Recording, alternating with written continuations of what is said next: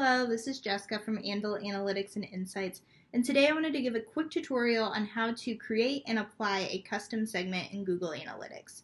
So to start with, we're going to come up here and click Add Segment.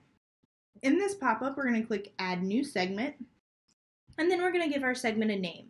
So for this demonstration, I'm going to create a segment that views sessions that contain a blog page view. So we'll name it Anvil Insights sessions containing a blog view.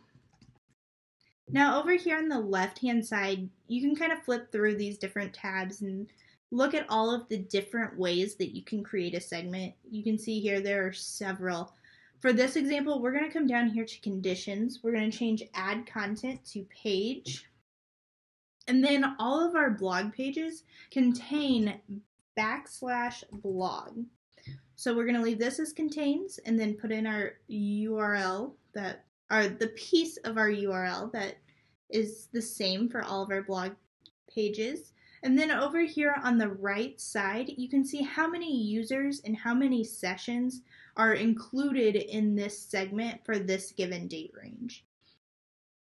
So the next thing I want to point out is that if we were going to create another segment, that excluded everybody that viewed a blog page view. So you could see how people that viewed a blog and how people that did not view a blog behave differently on the site. We would go here and choose exclude instead of include.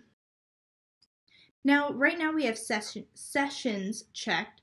So everybody, or all sessions that include a blog page view are going to be included in here. If we would choose users, we would get all of the sessions from all of the users that viewed a blog page, regardless of whether or not all of those sections actually included a blog page view. So the last thing that you need to check before you click save is the segment availability. So it automatically defaults to I can apply and edit the segment in any view in my Google Analytics account.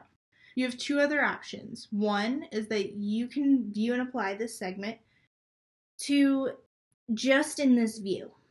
The third one, which is great for teams, we use it a lot here at Anvil, is that collaborators can also see and edit this segment in this view.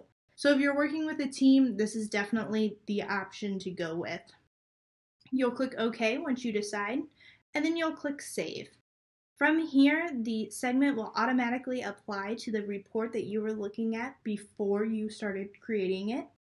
And then if you go over here and navigate to any of these different reports, this segment will be persistent. So if you ever do need to remove it, you'll have to go in and manually remove it just like that.